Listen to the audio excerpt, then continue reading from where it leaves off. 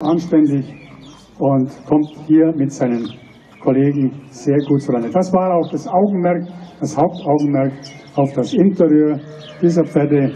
Wie benehmen sie sich? Wie kommen sie mit der neuen Umgebung zurecht? Ich glaube, haben wir noch was?